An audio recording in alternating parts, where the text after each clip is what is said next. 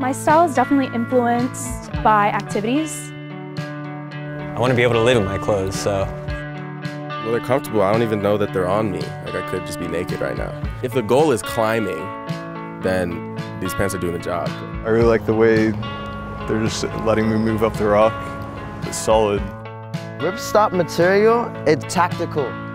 I can breathe, I can, I can stretch, and I can be able to work out and feel comfortable at the same time.